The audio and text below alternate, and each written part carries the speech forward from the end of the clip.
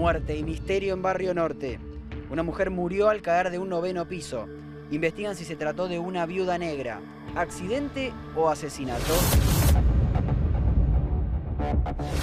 Nos tenemos que preguntar cada día, cuando me ocurre algo, cuando me, pasa algo, ¿qué me pasó? ¿Cuál fue el paso previo? ¿Qué conflicto tuve aquí? Nos encanta que estos dos meses haya estado con nosotros, de verdad te lo digo. Fui muy feliz y voy a ser mucho más feliz todavía, así que nada, te agradezco. Bravo. Buenas tardes a todos, ¿cómo les va? Bienvenidos. Bueno, tenemos de todo para hoy, pero vamos a arrancar con este caso que ha generado una enorme incógnita, un gran misterio con la muerte de esta mujer. Todo sucedió en Pueyrredón, al 1700, pleno Barrio Norte. Ayer por la tarde apareció el cuerpo de una mujer en el pulmón de un edificio. Tenía signos de haber caído desde un piso alto y los investigadores están eh, atrás de las pistas eh, que han dejado. Por ejemplo, tenía una, una, bolsa con pertenencias. Un hombre del octavo piso dice que eh, había sido robado y que había estado con ella. ¿La mató o se cayó en su huida? Porque algunos dicen que podría ser una viuda negra. Adelante, Martín Candarafta, allí en Recoleta. ¿Qué tal, Mariana? Buenas tardes. Estamos en Pueyrredón al 1700 y como vos decías, hay muchísimas dudas y muchísimo misterio con respecto a este caso. Vamos a repasar un poquito cómo fue la secuencia de esta muerte que, como vos decías, eh, tiene como protagonista a una mujer de 30 años llamada Micaela Lisset, que, según las pericias que realizó la policía de la Ciudad de Buenos Aires, cayó desde un noveno piso directamente al pulmón del edificio que yo tengo acá a mis espaldas. Esto sucedió ayer aproximadamente a la una del mediodía, una y media del mediodía, cuando algunos vecinos escucharon un fuerte estruendo cuando salen a ese pulmón, que en minutos nada más lo vamos a ver porque tenemos imágenes exclusivas, se encuentran con una mujer que eh, obviamente ya estaba muerta, murió en el instante. Automáticamente llaman a la policía, llegan los efectivos y ahí empieza la investigación. ¿Qué se encuentran los policías? Que en el octavo piso ah, había un hombre que estaba en su cama, acostado, drogado y sin ningún tipo de conocimiento. ¿Cuál es la investigación, la principal hipótesis? Que este hombre que encontraron en el octavo piso de este edificio, que estaba, insisto, drogado y sin, eh, sin conocimiento, había conocido a esta mujer que cayó desde el noveno piso, que habían tenido una relación sexual y que aparentemente ella sería una viuda negra que lo drogó a él para robarle. Vamos a, las pruebas que hay eh, eh, para, digamos, de dónde parte toda esta hipótesis, ¿no es cierto? Eh, por un lado hay una ventana rota, porque algunos dicen que podría ella haber tratado de pasar del noveno piso al octavo piso. Algunos vecinos la vieron merodeando por abajo, o sea que ella habría intentado salir y quizás no tenía la llave. ¿Encontraron un bolso con pertenencias de este hombre del octavo piso? ¿Qué, se sabe hasta ahora? Bueno, las pruebas, Mariana, que hay es, por ejemplo, hay pastillas o por lo menos un blister de clonazepam que se cree que ella habría dormido a este hombre chileno de 34 años con esas pastillas. Pero ¿cuál es la línea investigativa que sigue la policía? Que esta mujer habría drogado a este hombre que salió del departamento, que, que salió, no del edificio, ¿eh? del, departamento, y que encontró la puerta cerrada abajo. Sí que encontró la puerta cerrada, pero ¿qué pasa? Que se habría olvidado, atención con esto, se habría olvidado su celular adentro del departamento, el ah. propio celular de la que terminó siendo la víctima se lo habría olvidado adentro. Entonces, acá entra el relato de una vecina. ¿Qué dice la vecina? Que horas, que minutos previos a la muerte, o que minutos previos de haber encontrado el cadáver, había una mujer tocando insistentemente la puerta de ese departamento en el cual había salido donde estaba este hombre dormido. Claro, por supuesto, nadie le respondía porque esta persona estaba dormida en el interior, intentó tocar, intentó tocar, eh, eh, tocó el timbre, tocaba la puerta y nadie le respondía. Esta mujer la vio bastante alterada. ¿Qué cree la policía? Que como no, lo, no, no podía entrar al departamento porque nadie le respondía, subió hasta una terraza e intentó bajar por la parte interior del edificio eh, poniendo su pie, por ejemplo, en, un, en, la salida del aire acondicionado para intentar ingresar por, la, ventana. de la cocina nuevamente al departamento. Y ahí es donde aparentemente se habría caído. Todo esto surge, todo esto surge de lo que le contó este hombre de 34 años a la policía. Hay que ver qué va a decir en la, en la justicia, porque esa es la declaración que vale.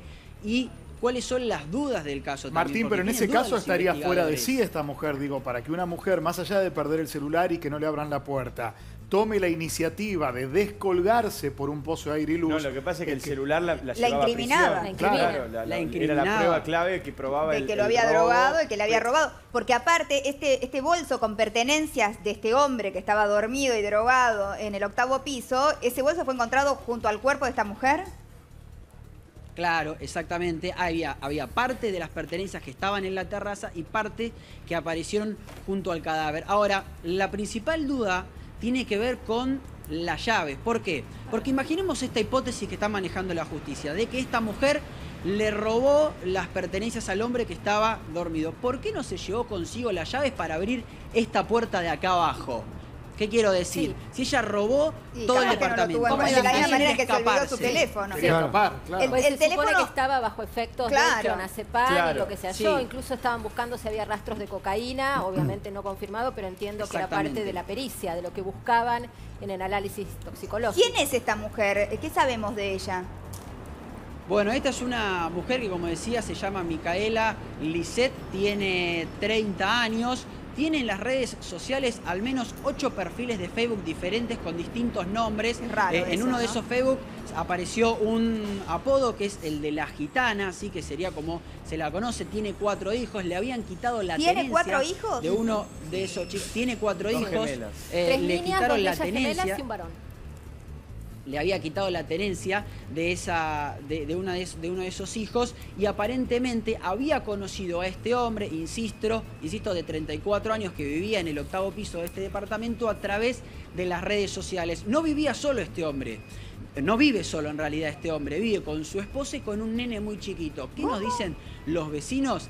Que previo a eh, ese encuentro que tuvo con esta mujer que terminó en tragedia, se había peleado con esa Sí, con, su esposa, con su mujer y habían abandonado el departamento. Ajá. Inclusive después la llaman a esta mujer al trabajo, trabaja en, bueno, lo voy a decir, trabaja en Comodoro Pi, esta mujer, la llaman y automáticamente viene acá a eh, efectivamente dar fe de lo que estaba diciendo el hombre, que estaba solo, que ella se había ido, que se habían peleado con el nene, porque, insistimos, hasta ahora es la versión de este hombre de 34 años. No hay O otra sea que este versión, hombre no hay invitó a la casa otros testigos familiar para, presenciales. para un encuentro sexual, digamos, momentáneo a una persona eh, que no conocía, o sí, tal vez, producto de una pelea anterior con la esposa, que se va de la casa familiar. Exacto.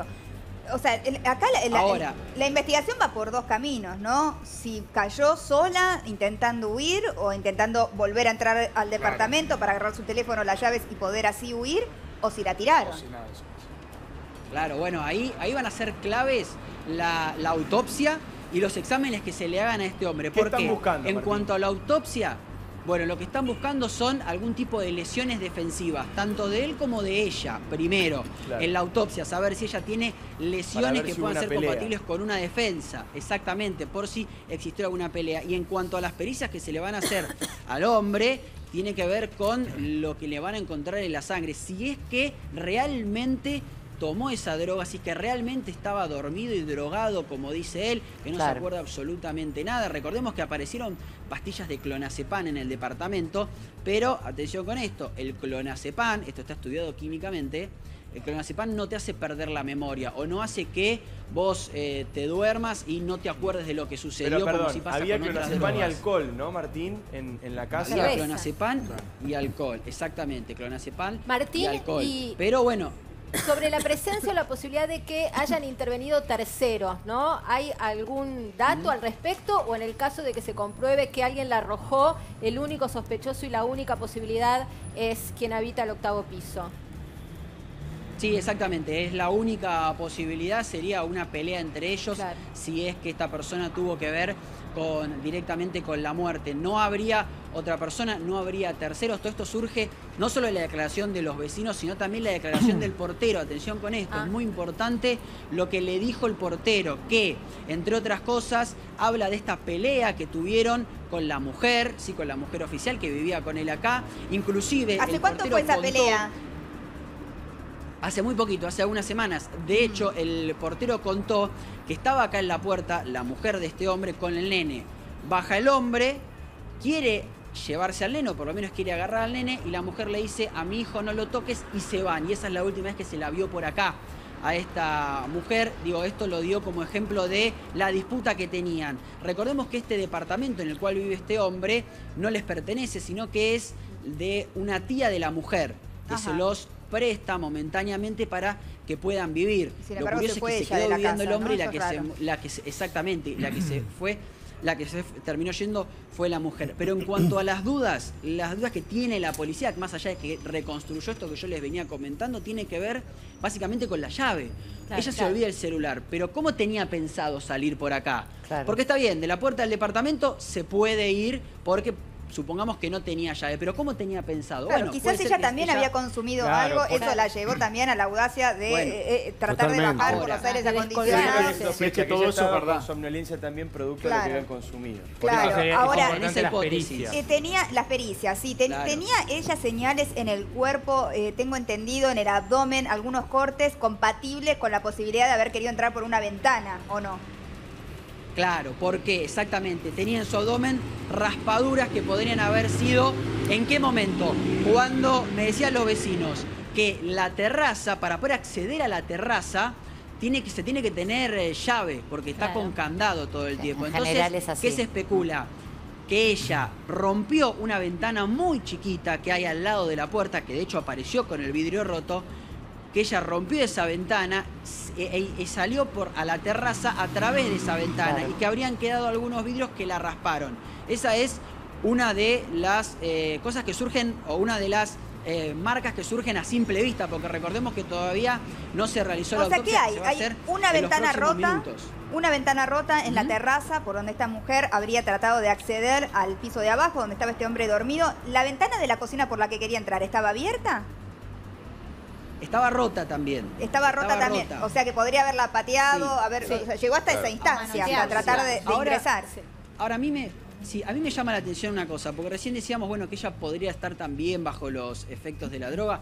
No sería el modus operandi habitual De una negra. viuda negra, ¿sí? Las viudas negras generalmente tienen mucha experiencia en los robos que realizan y drogan a la víctima, Claro. emborrachan a la víctima. No Ellas van a no perder toman tiempo. Bueno, droga, puede ser que no se trate de una viuda negra, sino de una mujer que vio la oportunidad. ¿no es Bueno, cierto?, de, de- de robar en ese momento, vaya a saber uno por qué, qué, qué relación los unía, pero Sí, lo cierto es que le robó, o sea, Claro, había es un perfil- pertenencias de él Están. al lado del cuerpo de Es ella. un perfil extraño, vos lo decías recién, Mariana, una persona que tiene ocho Facebook diferentes, que... Cuatro bueno, hijos de los cuales no tienen la tenencia de algunos, o sea Tiene que tienen distintos padres, supongo. Pero Y también digo, la duda cabe por, lo que decía. Martín, y las pericias tienen que ser realizadas, porque recordemos el caso Belucio, que fue juez de la Corte Suprema de Justicia, que mató a su amante en París, Mirta Schwarzman, y que durante mucho tiempo fue encubierto por la Corte Suprema alfonsinista en aquel momento ese delito grave hasta que Elena Hayton de Nolasco toma su lugar.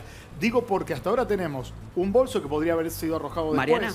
o no, una mujer que cayó, un vidrio roto o un montaje de una escena y es muy raro que una viuda negra se drogue a sí misma. No, o Claro. las dos cosas. Digo, ¿Por- por también no? ella le podría haber robado, lo podría haber asaltado, por ahí él se dio cuenta en algún momento y la persiguió. También. Bueno, pero a Él- lo encontraron, Martín, lo encontraron eh, dormido, ¿no es cierto? Ahí estás con una vecina, Sí. te veo. Sí. O, aparentemente lo encontraron dormido. Sí, estamos con Mariana, que es vecina del tercero A de este edificio y que fue una de las primeras personas que advirtió de la caída, que escuchó ruido y que inclusive bajó a donde estaba el cadáver. Bueno, me contaba Mariana que no lo vio porque obviamente no, no, no- era agradable, pero fue una de las primeras personas que se enteró de lo que estaba sucediendo. Ya te está escuchando Mariana. ¿Cómo Hola, ¿qué estás? Mariana? Eh, no, bueno, bien, gracias. Eh, bueno, no, yo estaba en mi casa y sí, escuché como un ruido de vidrios y un golpe fuerte. Y justo escuché a mi vecina del tercero, del tercero B que decía, eh, le decía a otra vecina por la ventana, algo pasó, yo vi un bulto caer, no sé qué. Entonces yo le golpeo la puerta a ella y me dice, ¿escuchaste? Le digo, sí, sí, qué sé yo. Y bueno, y me dice, ¿te animás a bajar? Le digo, no, no me animo a bajar. Bueno, le digo, sí, porque como el patio es cerrado, dije, bajo y me fijo si hay gente o algo. Y bajé y la planta baja del fondo, que es un que, que viven unas chicas, una inmobiliaria, bien no sé qué es, eh, tenían la puerta abierta y ahí me dijeron, se tiró una, se tiró una persona, ¿querés pasar? No, no, le dije, ayudanos por favor. Y bueno, eh, ellas ya habían llamado al SAME y cuando volví a subir, eh, ya volví- vino, vino la policía, los bomberos, todo, y bueno. Lo Mariana. único que sabemos es que, sí, Vos dijiste recién que, Sí, que se escucharon vidrios, además del golpe de la caída, porque viste que está Sí, rota la que ventana esa de la terraza y también está rota la ventana de- del octavo piso. O sea, eso podría haber sucedido justo antes de que ella cayera. subí.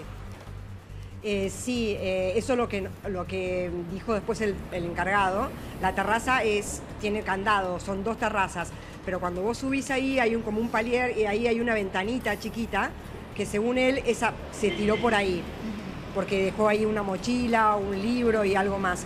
Y, mm, pero bueno, no sé, la verdad que no sé. Eh, yo hoy subí a la terraza a colgar ropa y, y la ventana esa no está rota. Eh, Ah, ¿no? Ah, en un principio se ha dicho que, que estaba rota, la, por lo menos hecho, estaba rota. y no está rota finalmente. Ah. Más dudas todavía. Claro. ¿Y cómo se supone que ingresó a la terraza? Claro, si no rompió la ventana ni tenía llave, ¿cómo pudo haber ingresado? Quizá quedó sin llave la puerta. Es muy raro, la verdad no, no tengo idea, libro, nada más. ¿Cómo es, ¿Esa cómo es la llave de terraza, la puerta? Mariana? Y puede La ser. terraza como es. eh, la terraza tiene dos El puertas, acceso, una, digamos, una claro. de las terrazas. El acceso no, vos, vos subís con el ascensor hasta el octavo piso, ahí subís una escalera y en el noveno están las dos terrazas. En el medio hay unas piletas para lavar ropa y ahí hay una ventanita chica y supuestamente fue por esa ventanita, por las terrazas no podría Es haber pasado un nunca porque las terrazas tienen candado. Mariana, ¿es un edificio de cuántos años y, y si hay cámaras ahí? No, cámaras creo que no hay. Y años, no, la verdad que no tengo idea. Yo vivo hace seis años acá, yo alquilo. Tiene ocho pisos y dos departamentos por piso. Y Eh, Mariana, cuando vos subiste a la 40 años terraza, tiene. que, que decís que no viste la ventana rota que eh, trascendió que estaba rota, Sí. ¿estaban puestos los candados? Los candados estaban puestos, sí. De hecho, yo para entrar a la terraza tuve que abrir con el candado. La ventana esa que está ahí, que es la que me habían dicho eso ayer, esa está perfecta, no está rota para nada. Y por esa por ventana no pudo pasar tirarse, sin romperla. No hay manera, digamos, de que se abra esa Sí, ventana. sí, la abrís. Y, y llega a pasar un Sí, cuerpo esa por ventana ahí. la abrís. O sea, no había necesidad de Sí, romperla. llega a pasar perfecto. Ah, perfecto. Entonces, Ah, claro, no necesario pasó sin romperla. romper la O sea, ventana. podría haber pasado tranquilamente Sí. sin romper la ventana. Digamos, Sí, que la ventana exacto, no esté rota exacto. no invalida la Pero posibilidad Claro, tenía de que que raspones haya o no. la terraza, Tenía claro. raspones o no, Lo- porque lo- hablaban de No, raspones. lo único raro es que. No, digo que lo único raro es que ayer a mí me dijeron que esa ventana estaba rota. Claro. Yo no entendía por qué, porque esa ventana se abre re fácil, Claro. es una hoja que abrís así y Claro. listo. O sea, Mariana, conoce- yo- sí. quería preguntarte sobre la persona que habría estado con esta persona que falleció, si los conoces, qué sabes de ellos, cómo es la vida que se dirime ahí en el edificio. Era una familia tranquila, Eh, discutían. Es que yo vivo en el tercero y yo vivo en el tercero A, o sea, es contrario. Yo la verdad que nunca escuché nada. Era una familia, es un matrimonio joven de treinta y pico de años con Sí. un bebé. Los la verdad que yo me los cruzaba muchas veces, sobre todo a él a la noche. ¿Y cómo pero veías el nada, trato entre no. ellos? ¿Los veías como alguien No, la verdad que- na- natural, No, tranquilo? normal. La verdad que nu- nunca vi nada, ra- yo nunca vi nada raro. La ¿Y verdad que no. pudiste No, hablar no, con no, alguno de los vecinos que se cruzó con esta mujer antes de la caída? Viste que hay testimonios que la describen como somnolienta, La- un poco deambulando. aturdida, Sí. deambulante. ¿Supiste algo de esto? ¿Te contaron algo? No, lo único que contó ayer el portero es que eh, la chica del octavo, del octavo, acá es al revés, el octavo A da para adentro y el octavo B es a la calle. Eh, la chica del octavo B escuchó que golpeaban la puerta y ella abrió la puerta de su casa, de su palier, y vio a una chica joven, que es esta chica, Sí. que dijo, qué calor, qué hace acá, qué calor, qué hace acá, y estoy golpeando y no me contesta nadie, no sé qué. Bueno, eso, y después... eh, La notó después- mal, Mariana, discúlpame, pero vale la pregunta justamente Sí, por claro. el estado de ella, ¿no? Claro. Ella podría decir que la notó Es que- mal o solamente nerviosa Es que o, yo- o afectada por alguna otra cosa. Es que yo no podría, yo no podría decirte eso porque yo no hablé con esta chica, ¿entendés? Ah, o sea, ok, pensé que- no quiero decirte una cosa hablado. por otra porque yo no hablé con ¿Y a ella. qué hora la vio? O sea, lo único ¿A qué hora la vio? alteración de la conciencia y de los movi- de- Y de- esto fue de ayer tipo 12 y media, una menos 20 del mediodía. 12 y media, uno A menos esa 20. hora Digo fue. porque es importante ver en qué momento, porque tal vez esto fue cuando iba al encuentro y tal vez el hombre ¿Y adentro cuánto no tiempo escuchaba. después ca- cayó Después. ella? ¿A qué hora escuchan ustedes que ella cae, Mariana? Eh, no, eh, la hora que cae es la hora que yo escuché y todo, fue tipo 12 y media, una menos 25. Ahí. Al Claro, ese, discúlpame, No es el momento, Mariana. clara la- Claro. Sí. Ese sería el momento en el que ella intenta entrar nuevamente al departamento por las buenas, o sea, intentando que él se, que, que la Claro, persona que al, estaba al no desvanecida- tener La respuesta, al no va, tener la respuesta, terraza. aplica el plan B, que es, bueno, le salió mal, pero se supone coincide por Porque la hora. si fuese que solo buscaba la llave, quizás le podría haber pedido a la otra vecina, la que apareció, que le abriera Claro. la puerta Claro, abajo. claro. Evidentemente ella había olvidado algo adentro, Celular, quizás el claro. celular como bien decía Eh, Martín, sí. este, que la incriminaba, ¿no? Por- Totalmente. ¿Por qué la insistencia de querer volver al lugar de donde te habías escapado? Sí. Sí, es rarísimo, la verdad que es todo muy raro, y, pero no sé mucho porque nadie te dice nada, ¿entendés? O sea, hoy hablando con otra vecina me comentó que, que nada, que el encargado le dijo que eh, lo que sale por televisión, o sea, nada más, ¿entendés? ¿Y la O policía sea, cómo actuó? ¿Cómo fue el operativo con ustedes, los vecinos? ¿Hablaron todos con la policía? ¿Tuviste que declarar? ¿Entraron también a otros No, departamentos? jamás. No. No, yo jamás. En un momento me dijeron que estaban pidiendo documento cuando salías y cuando entraba, pero yo salí ayer mil veces de casa. De hecho, tengo un perro, o sea que salí con él un par de veces y nunca me pidieron documento ni nada. ¿Y cuánto tiempo Eh, estuvo el cuerpo que- ahí? Y tengo- por lo que yo vi ayer, eh, la, car- la carpita esa que arman, viste, se estaba, porque yo nunca me quise asomar hasta que después me dijeron que había una carpita y dije, bueno, entonces ahí sí miré porque no se iba a ver nada. Y yo escuché, eh, tipo una de la mañana fue que desarmaron todo. Mariana, ¿es un lugar seguro? había policía. Quería Igual es raro que no hayan interrogado a todos los vecinos, Sí, no son claro, tantos. para ver si vieron no, algo. y- Sí. como está este testimonio de esta vecina que la vio, quizás hay otra persona que pueda aportar algo. Es raro que no les hayan preguntado. Por una cuestión de Yo calculo que a esa vecina la deben Porque no haber es- interrogado, calculo. Sí, esa vecina Claro, seguro. esa es la única A testigo los que del la mismo vio. piso, que son dos departamentos por piso. ¿Es un edificio Claro, son seguro? dos departamentos. Mariana, ¿o ya sufrieron alguna vez otro robo? Digo, ¿entran con tranquilidad? ¿Tienen un encargado? ¿Tienen seguridad? ¿Cómo se vive ahí adentro? No, no, seguridad, no, seguridad no tiene, eh, tiene un encargado y para abrir la puerta de, o sea, La Si principal. te tocan el portero a la noche, lo que sea, te- tienen que bajar a abrir, o sea, está con Claro, llave.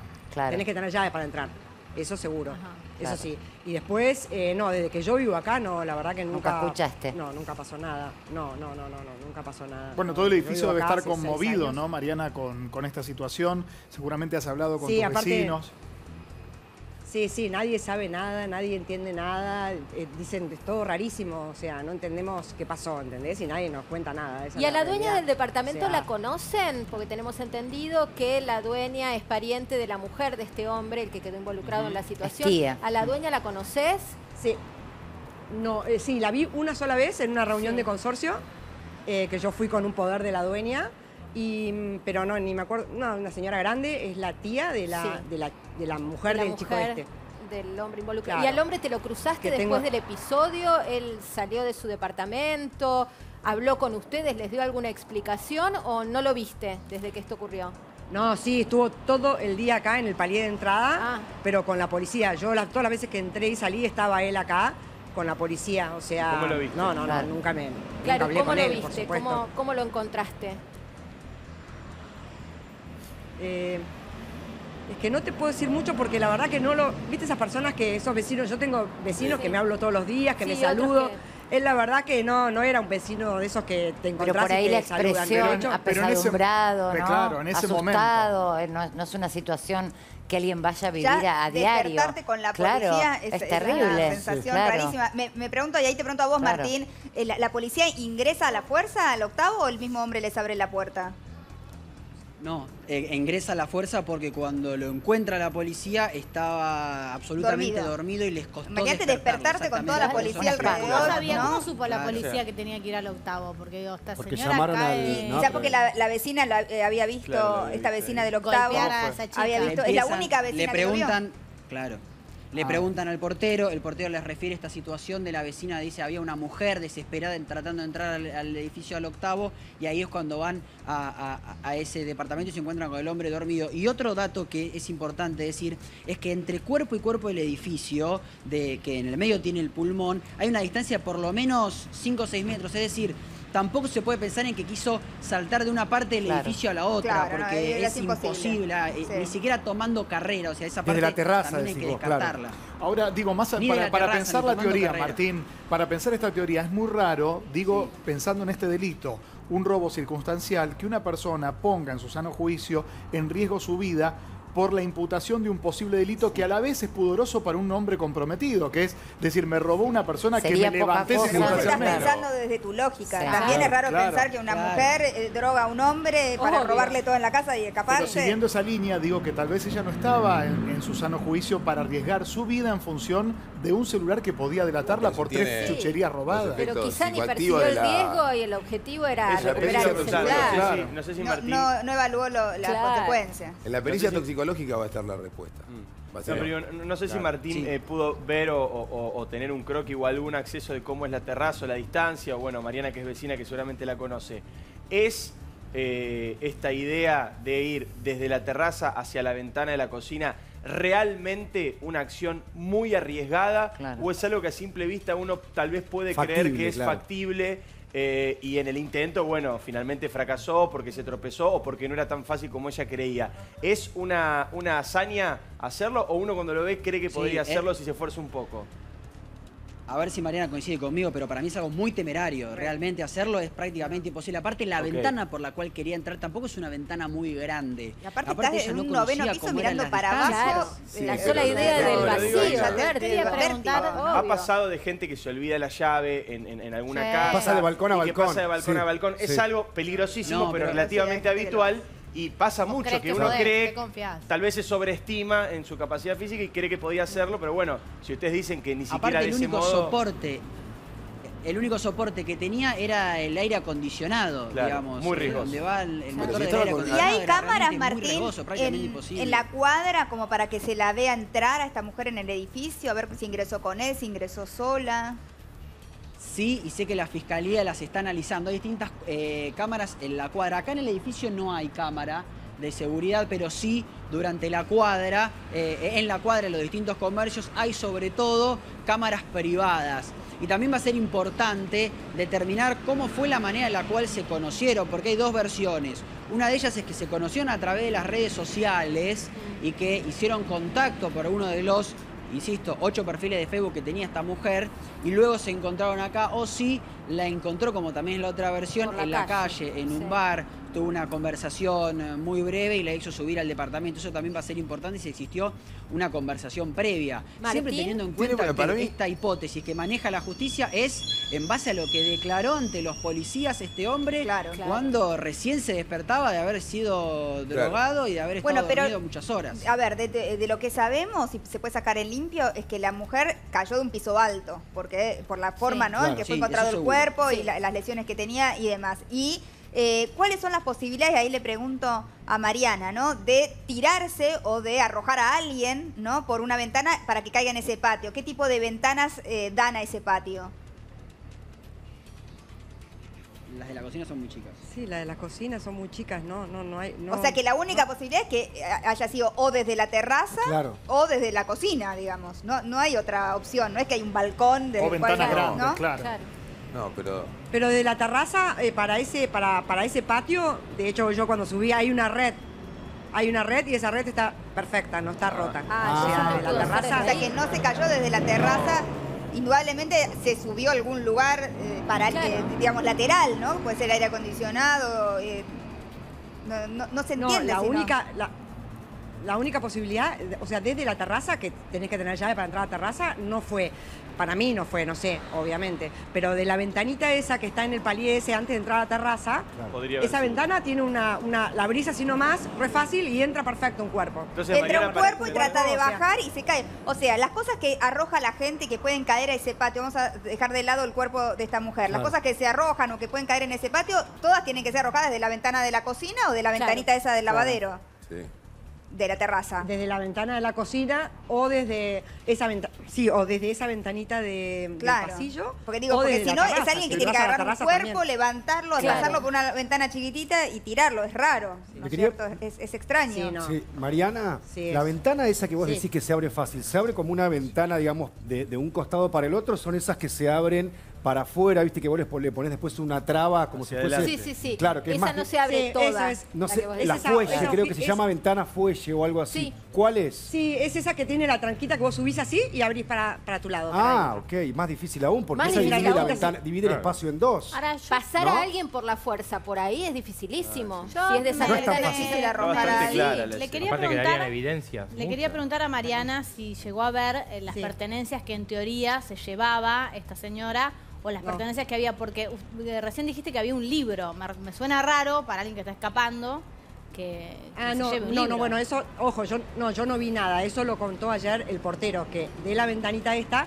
dice, se tiró de esa ventanita porque esa ventanita estaba rota, que no estaba rota, pero bueno, él dijo eso, que estaba rota, y que en el piso había una mochila, una campera y un libro. como ¿Y el portero qué horario chica. hace, el encargado, mejor dicho? ¿Cuál es el horario que hace? Digo, ¿es una persona que puede conocer todos los movimientos de aquellos que ingresan al edificio? ¿O es uno de esos que por ahí está por los pisos y no tiene tan claro quién entra y quién sale? No, para mí no tiene tan claro. No. Y ayer no estaba cuando pasó. De hecho, cuando yo bajé, eh, después lo vi entrar a él, que ya estaban los bomberos acá, y me vio y me dijo, ¿qué pasó? Y le dije, bueno, parece que se suicidó alguien. ¿Cómo? ¿Cómo? O sea, él entraba en el momento que yo ya estaba abajo, que ya había pasado todo. Él no estaba. Claro, ¿y cómo se supone que entró ahí. reconstruyó la situación Claro. el encargado? Si no estaba. Vos tenés pruebas de que no estaba, porque llegó y te preguntó a vos qué No, había no pasado. estaba. ¿Se supone que habló con alguien sí, que sí. pudo haber visto algo o es lo que recibió de la policía? Yo creo, no, no, el portero, por lo que él comenta, él habló con, con la chica del octavo, Ah, del octavo B, claro. que fue la, La que, que vio la a la otra chica desesperada golpeando tocando la puerta. Esa Perfecto. chica fue, es Él habló básicamente la, que, la que le da eh, finalmente Entidad, sí, conexión a todos, A los los, hechos, a todos los hechos, ¿no? a todas Sí. las pruebas que estaban desconectadas. Ese testimonio finalmente es el que termina de, de- de cerrar eh, y, y fue la que dio la, la versión primera, cuando apenas surge esta información, era que directamente ya había, la, la mujer había intentado escapar por esa ventana y que cayó en la huida. Este testimonio que vos haces referencia, Mariana, es lo que le da la pauta a la policía de que en realidad, tal vez, y lo más probable es que haya caído intentando reingresar. Tal vez si ese testimonio no estaba, hubiera sido más complicada la investigación. Sí, sí, puede ser, sí. Martín. Y después lo de las cosas que... Sí, sí, sí, decí, Mariana, perdón. No, no, no, digo que después lo de las cosas que encontraron ahí, eso fue lo que comentó el portero, que yo lo escuché, o sea, no, Claro. nos comentó a algunos No, pero vecinos. estamos viendo que las estábamos fotos, ahí. son acá las impresionantes. imágenes. Pero pará, por, Sí, por está el libro, eh. Está el libro que decía fotos, Carmela. Además de los eh, ventiluces, hay ventanas de marco de aluminio que son más grandes en algunas paredes, algunas con protección de rejas como esa que estamos viendo ahí y otras no. Digo, además de las ventanas ventiluz que van a la cocina, vemos en la foto del pozo de aire y luz algunas ventanas de aluminio donde sí podría haber pasado un cuerpo. Digo para tratar de esclarecer esa duda que tiene que ver si pudo haber caído de la terraza o de alguno de los pisos. Bueno, eso sin duda es una de las dudas, Luis. Y yo quería aportar, porque tengo la foto de las pertenencias que se encontraron, y efectivamente hay un libro, Sí, está el libro. veo dos celulares, está el libro, las pertenencias, la foto que saca la policía. Me resulta raro porque hay un desodorante, por ejemplo. Claro, pero fíjate, Martín, que al lado también hay un, hay un perfume muy conocido, este, que Sí, tiene, perfume, que todos ¿verdad? conocemos, ¿no? Que es muy conocido. Se ve que llevó, llevó cosas, este, monedas y llevó cosas de, de higiene personal, porque bueno, un perfume Sí. es caro. Este, pero bueno, el desodorante nos Sí, explica. hay dos celulares. evidentemente agarró lo que pudo y salió en medio de las apuradas y quizás por eso se olvidó el celular. Digo, Y hay un detalle, Mariana, que acabo de ver acá, que es cuando vas a una, a una droguería a pedir una, algo homeopático o algo especial, te dan un frasquito muy particular, que es color naranja, con una tapa especial que nos, los Sí, chicos no pueden... Claro, que los chicos no pueden abrir, que hay que hundirla para abrirla, y que tiene eh, un sello genérico. Bueno, ese, un frasco de esas características está entre las cosas Pero si secuestradas, que es de farmacia, Claro. digamos. Sí, Esto sí, en la pericia toxicológica, si se confirma eh, cocaína y en, el cuerpo de la víctima no hay clonazepam, eh, una conducta de este tipo, paranoide, digamos, donde todo el tiempo ve fantasmas o, o le agarra una desesperación mayor después tal vez de haber cometido algo, no tiene que sorprender a nadie. Un médico toxicológico te lo diría. Y en el caso de la presencia de clonazepam en el hombre que aparece dormido, no debe sorprender tampoco que tenga alteración de la conciencia. Tampoco es que. Sobre todo si mezcló con alcohol, Tampoco es ¿no? que te dormís inmediatamente. Y también el tema del alcohol es importante, ¿no? Porque en la mezcla con la alcohol, digamos, ahí tenés todo.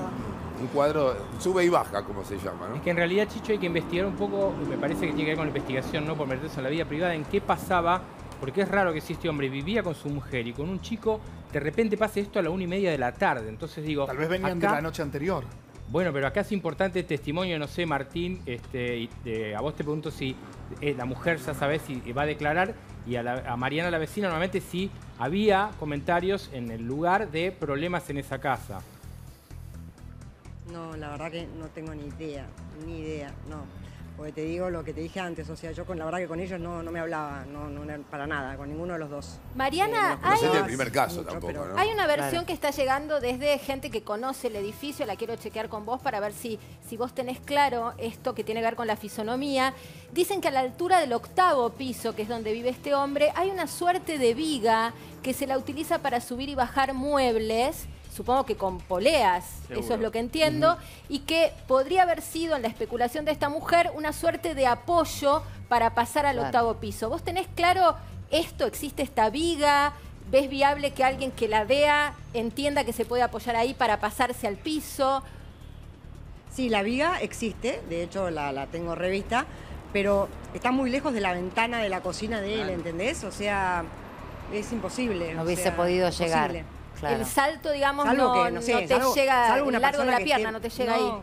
No, no, no, no, no, no, no. No, te- aparte, no sé, me parece que tenés que estar muy mal para arriesgarte. O sea, no es Entiendo. posible. ¿Y ese lugar Imposible. también coincide con el, con el local, con un local que hay abajo, sobre la calle Pueyrredón, sobre el patio de un local, donde ellos pudieron haber escuchado o visto algo al momento de esta mujer de caer? Ese pulmón de manzana, No. ¿coincide ahí del edificio? No, que No, yo capaz que es esta inmobiliaria a la que hacías Claro, referencia, claro. Mariana. Vos dijiste que en, el- en la planta baja Claro, hay... eso está, Claro. eso está dentro del edificio. Está Dentro del edificio. Pero Claro. eso da al patio. Pero eso da al patio. O sea, esta mujer cayó Es- en el patio de la planta baja. Claro. Ellos son los únicos que tienen acceso a ese patio. Yo si quiero ir a ese patio no puedo. Tengo que entrar al departamento de estas chicas de planta Claro. baja. Ahora, Claro. qué terrible la, situación que vivieron esas chicas porque horrible. fue en medio Un de un horario comercial. O sea, Claro. escucharon la caída No, y un vieron horror, el cuerpo en el patio de su local, ¿no? A ver, De su- yo tengo esta Un información. horror. Yo cuando bajé estaban tipo locas. Me dijo, estábamos comiendo y vení, pasá. Y no, yo no pasé. Le dije, no, llamo a la policía, sí, pero yo no pasé, por supuesto. Y son dos chicas re jóvenes que estaban pobres comiendo cuando nada, les pasó Terrible, esto. Sí, terrible. en su La patio. información que tengo es que horror, ella la vendía drogas, que era dealer, y que hace 10 años, hay gente que la conoce hace mucho, que solía hacer este, situaciones donde salía ella beneficiada desde... Este, De viuda negra, decís. Sí, viuda negra, pero también siempre la droga muy presente, ella desde ella también, o sea, por eso estas conductas temerarias que Claro, a por ahí un médico toxicológico nos sorprende. Claro. Y este, una historia de, de la víctima, no, mejor dicho, de, qui- la presun- de quien podría haber sido su víctima con el tema también del alcohol y las drogas. Del, Tiene, del algún punto de contacto también con Tandil. O sea, la droga, fíjate que vos cuando uno dice la droga es muerte, la droga fomenta eh, conductas que terminan derivando en la muerte, ya no por el consumo, por la sobredosis, sino por el- el- a lo que lleva. Bueno, de hecho Martín eh, le, le quitaron la tenencia de una de las hijas en un momento, ella hace un posteo también como pidiendo por favor para poder revincularse con ella, tal vez tenga que ver con esto que decís vos, con esa Sí. vida de... Pero no se sabe por qué le habían quitado la tenencia. No, No, no simplemente le quitaron la Se tenencia. para La hija de una sola, cuatro. de tres mujeres. Pero debe ser de otros, por ahí, pa- por ahí no son del mismo padre, entonces uno pide ¿no? la, la, eh, la perimetral o la, esta caución y, y no, no sé si son hijos del mismo padre no. En Martín, ¿esta mujer no tenía más. antecedentes? No, Porque en el trascendido periodístico no aparecen, pero digamos, unido con el dato que aportaba Cicioli, te pregunto si pudiste chequear algo al respecto, si, si hay alguna especulación chequeé sobre no tiene. antecedentes penales, no.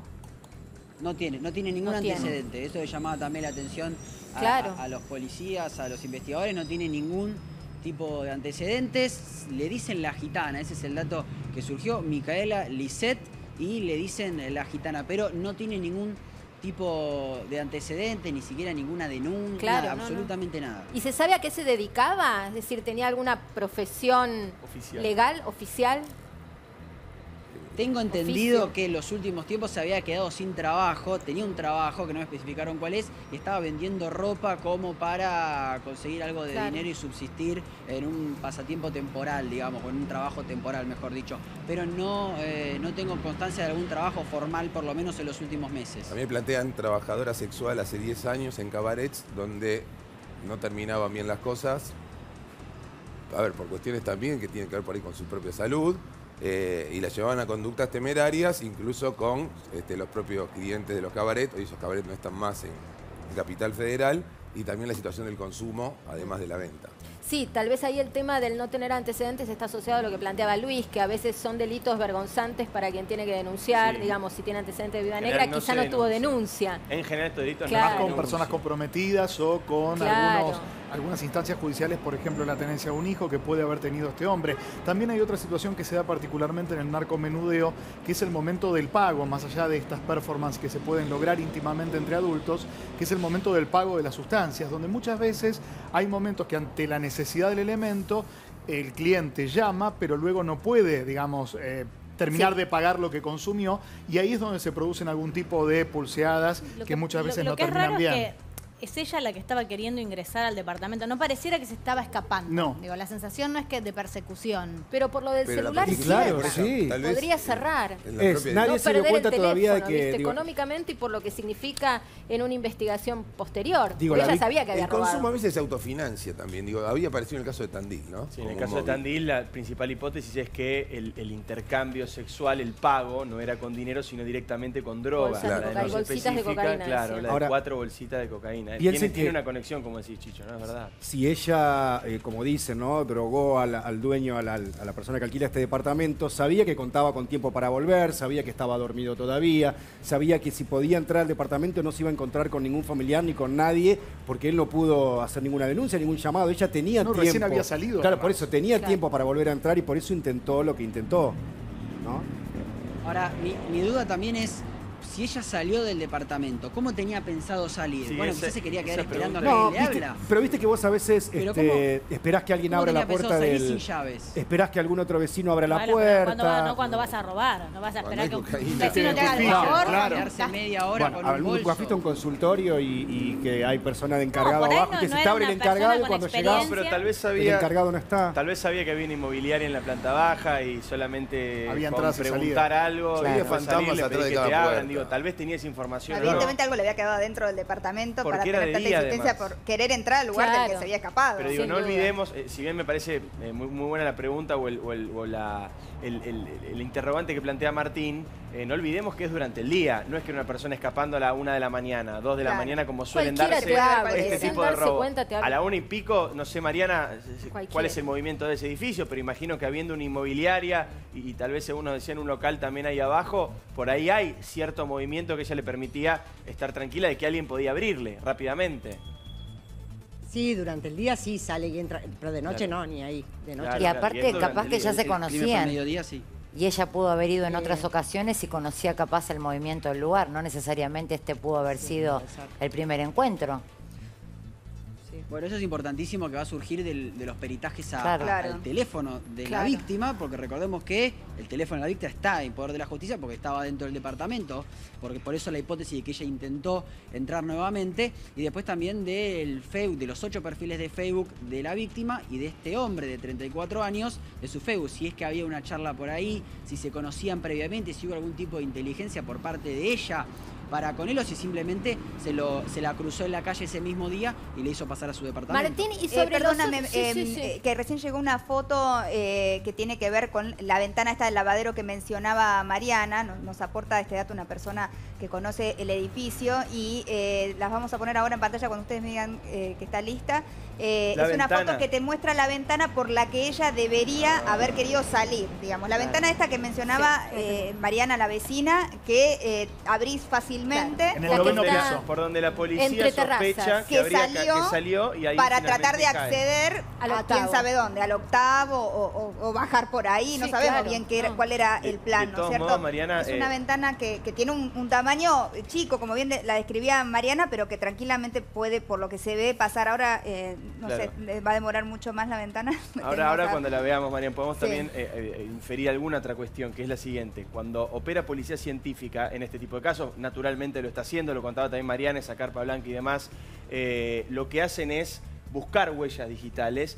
En general, en las ventanas es mucho más fácil encontrar huellas. ¿Por qué? Porque las huellas quedan donde hay superficie sin porosidad, superficie plana, como por ejemplo un vidrio o los metales que rodean, los marcos Aluminio, metálicos que rodean Claro. las ventanas. Mariana dijo en los que era de lugares más aluminio. porosos es más difícil que quede la huella. Por lo tanto, en las ventanas, en general, si es que ella usó sus manos para Claro. abrir, tal vez pueda haber allí también alguna prueba importante Claro. que imagino que la policía haya peritado, ¿no? Y si es que usó esa ventana, digo, porque despejaría un montón de dudas que hay en torno a esta, a esta situación. Una situación que podría ser de índole íntima inicialmente y que derivó fatalmente en la muerte de esta mujer, más allá de la relación Ahí está la que ventana. hayan tenido. Ahí Esa es la ventana que estábamos esperando, esa es la ventana de la que habla Sí. Mariana, es una ventana pasa chica. un cuerpo, Pero pasa pero una pasa un cuerpo. Pasa un cuerpo. mujer de 30 años delgada, sí.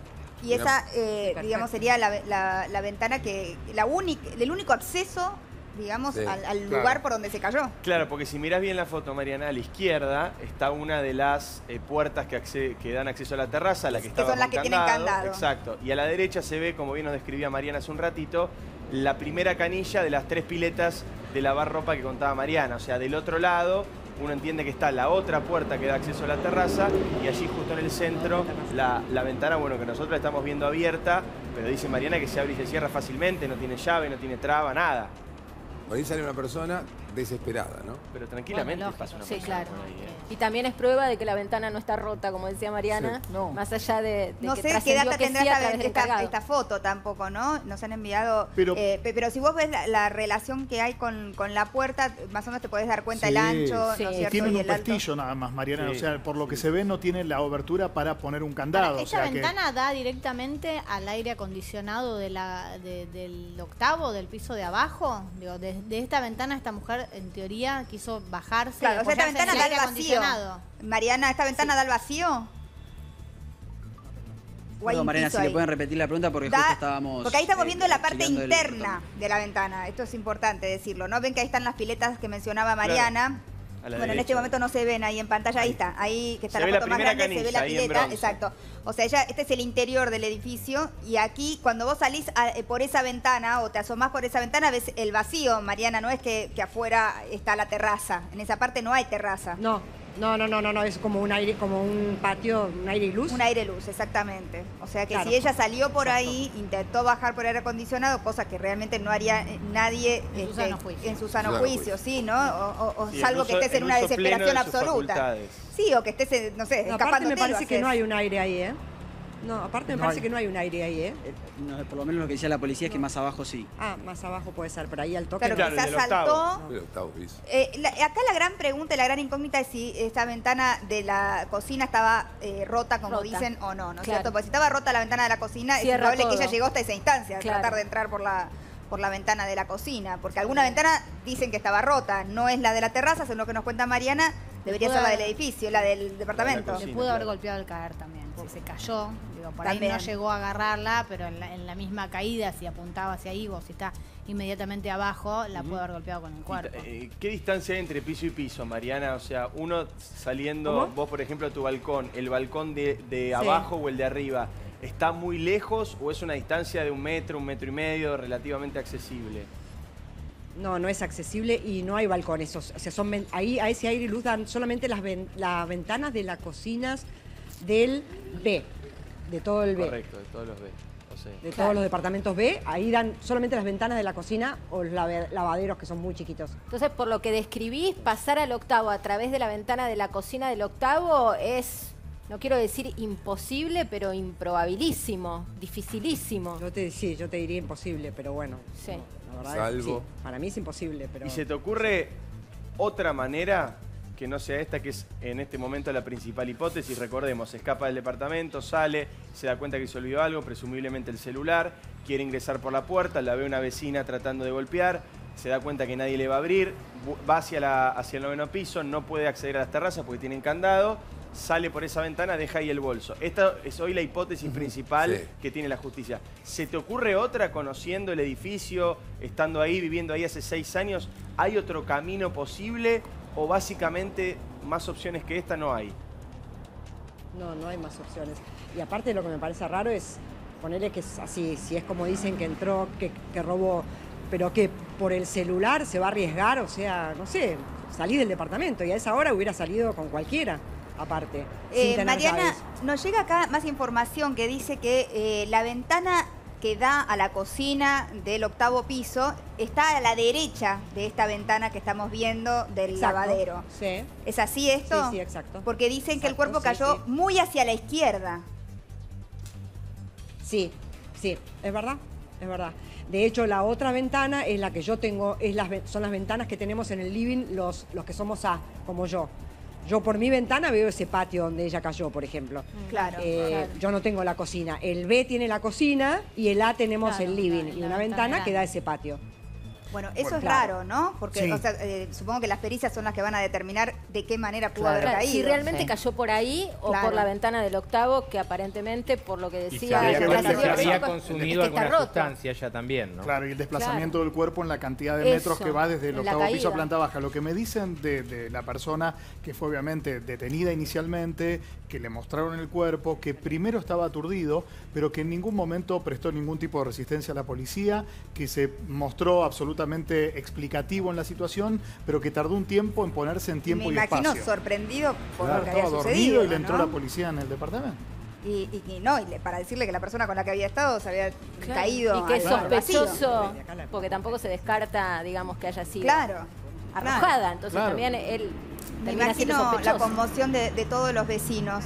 Eh, Mariana, bueno, te agradecemos muchísimo todo tu testimonio, has aportado muchísima información, es un gran misterio que hay alrededor de, de este caso y suponemos que obviamente con el tiempo y las pericias se va a saber más. Eh, sabemos que, bueno, lo están seguramente indagando, ¿no? Me imagino al, al señor del octavo, Martín. Sí, sí, sí, eh, en cualquier momento, era en, las, pro- en estas horas que iba a ser indagado esta persona para ver cuál es la versión oficial que tiene, la que le dice a la justicia, que es la que realmente vale. Perfecto. Bueno, muchísimas gracias Martín Candalaz, gracias a Mariana este, también por, por todo su aporte. ¿eh? Muchísimas gracias. Vamos a cambiar de tema. Estoy feliz que tenemos con nosotros nuevamente a la licenciada Ángeles Walder, que ya ha estado hace un tiempo y la- el día que vino fue, la verdad, maravilloso para todos los que estábamos acá y la gente que escribió muchísimo agradeciendo toda la información que brindaste. Eh, Ángeles, ella habla sobre la descodificación biológica. Algo de lo que se escucha hablar todo el tiempo, está como de moda, parece, ¿no? Y uno no termina de entender de qué se trata. Pero cuando te metes en tema decís, yo quiero saber sobre Claro. esto porque me interesa. ¿Por qué nos enfermamos? ¿Qué es lo que nos pasa? Que cuando algo te sucede, que te desestabiliza quizás emocionalmente, al rato tenés un accidente O, te, o te agarra una gripe. gripe. ¿Cómo aprender a escuchar nuestro cuerpo? ¿Y qué pasa no solamente con los individuos, sino con los grupos, con las sociedades, ¿no? Nuestro país, que está en crisis cada tanto, está enfermo también y no estamos escuchando como sociedad lo que hay que escuchar. De todo esto vamos a hablar con Ángeles. ¿Cómo estás, Ángeles? Muy bien, muy contenta de estar aquí. Primero, para todos los que no te vieron la vez Gracias. anterior, Ángeles, que fue tan interesante, eh, me gustaría que cuentes qué significa, eh, qué es la descodificación biológica. Yo creo que para que se entienda fácil es una herramienta de comprensión, una herramienta de comprensión de qué? De un síntoma. Cuando alguien tiene un síntoma, o tal como tú decías ahora, Mariana, ¿la sociedad puede estar enferma? Sí, la sociedad es un grupo de personas y puede tener una enfermedad igual que las personas nos enfermamos. O los, países, por ejemplo, un determinado marco dentro de una zona, ¿puede estar enfermo? Sí, hoy Europa y el norte de África o los países que le rodean están enfermos, en alguna medida sí, porque si no, no estaríamos viviendo cosas que estamos viviendo de manera horrorosa, ¿no? O sea que vos decís que cuando alguna conducta se repite es porque antes hubo algo, ¿no? Un conflicto. Un conflicto. Mm. Un conflicto. Por eso decimos el síntoma del cual yo no me ocupo, para eso se ocupa el servicio médico o la persona adecuada para hacerlo. El síntoma nos guía al conflicto. El conflicto nos guía a la percepción. La percepción nos guía al patrón. Y el patrón es lo que se repite. Claro. Si hoy aquí se repite algo, repetimos, lamentablemente, una y otra vez, es como si estuviéramos chocando con la misma piedra como sociedad y volvemos a lo mismo, y me encantaría que me dijerais vosotros qué percepción tenéis de lo que ocurre aquí. Alguno me dirá la inseguridad, otro la inflación, otro falta de educación. Cada uno verá un tipo de, de problema en la sociedad que le llamamos síntoma. Y a través de eso vayamos a buscar cuál es el conflicto. Porque Vamos es a la única manera al plano de individual que me parece que va a ser más fácil para que la gente lo entienda, ¿no? Hmm. Eh, a, a lo cotidiano, ¿no? Una persona que se cae y se golpea, por Sí. ejemplo, ¿no? Y termina con una contusión, no sé. Y, y dice, bueno, tuve mala suerte, ando distraída. En realidad uno tiene que ir más profundo.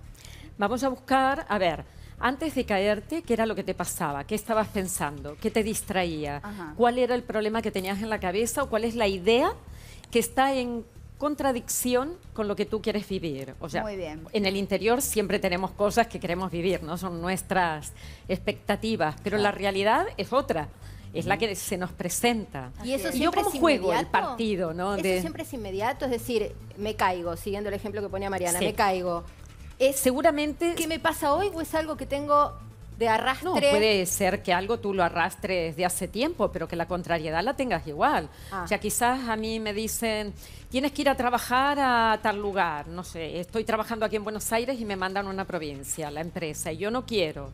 Y empiezo a pensar, hoy dejaré a mis hijos, ahora me tengo que ir, no estaré en la semana, yo qué sé, mil historias que pueden Y te agarras una gripe y no ocurrir. viajas. Claro, o, no, o salís a la calle Claro. cuando estás yendo hacia el aeropuerto, te tropezás, te haces un esguince y después decís, mira, ese era el hueco que había ahí, ¿no? Ahora, Ángeles, Mira, volviendo está bien eso. No, es, es muy interesante esto, realmente es súper. interesante. A mí me porque si uno porque es- piensa y somos honestos con Mm. nosotros mismos, cada tanto nos pasa que algo anda dando vueltas y de golpe somatizamos, ¿no es cierto? Claro. Lo que uno llama la somatización. Y en, Sí. en realidad, la, la pregunta que yo te quiero hacer tiene que ver con eh, si hay patrones, digamos, como vos mencionaste la palabra patrón, si hay patrones eh, de síntomas que se relacionan con los órganos. O sea, ¿es común que eh, frente a determinados conflictos sucedan siempre los mismos síntomas?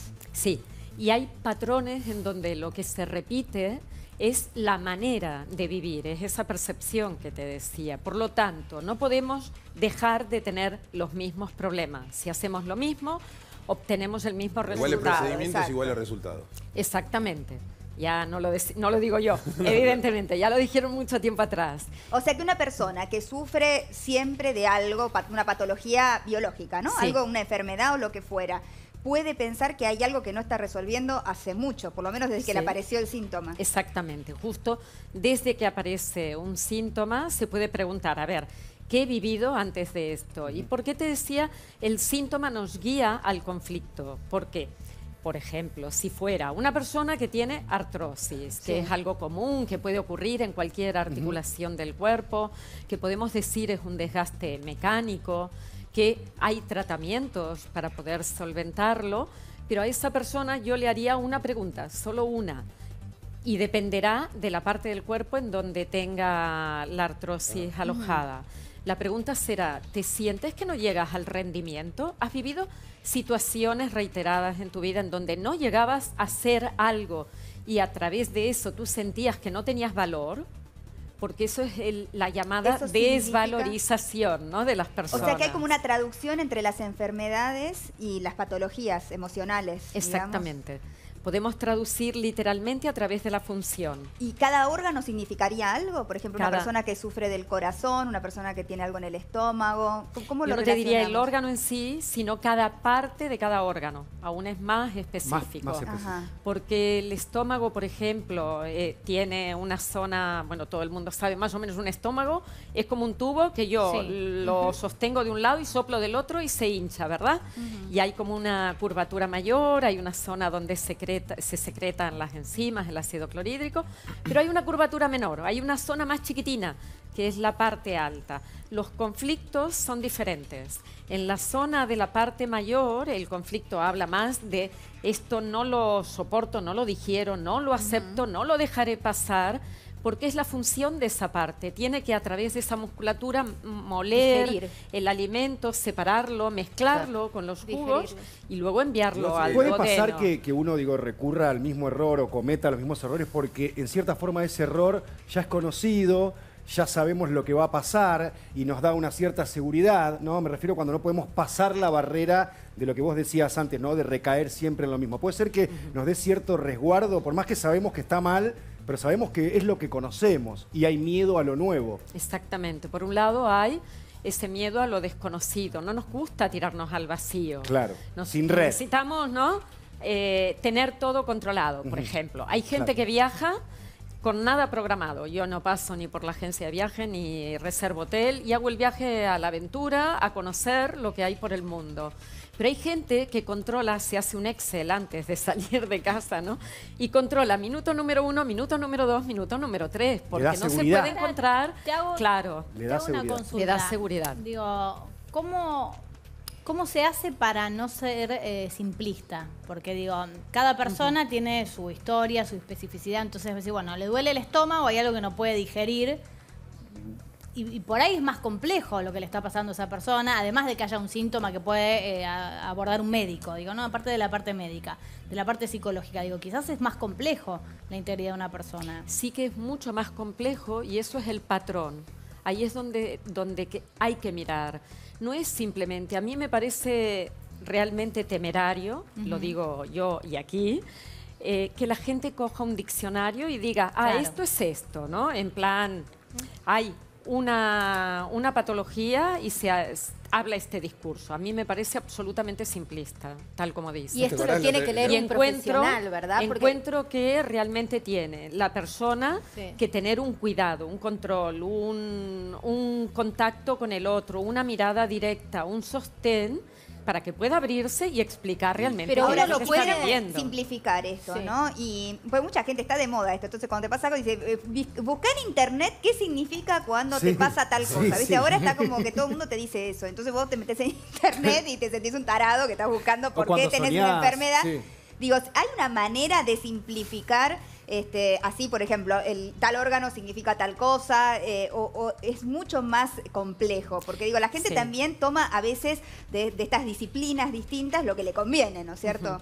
A mí me parece una manera, ya digo, temeraria de actuar. Yo creo, y además me- si me escucháis mis conferencias, es que siempre digo, por favor, no me preguntéis síntoma, esto qué es, porque Ah, yo lo podría decir, lo puedo decir Pero es continuamente. interesante lo, lo que vos decís de qué preguntas persona- haces, claro. ¿no? ¿Cuál es la pregunta que nos tenemos que hacer nosotros mismos cuando nos pasa algo que sabemos nos desestabilizó emocionalmente? Vamos a suponer que nos peleamos con alguien o vivimos una situación de estrés o, o- o una situación dolorosa.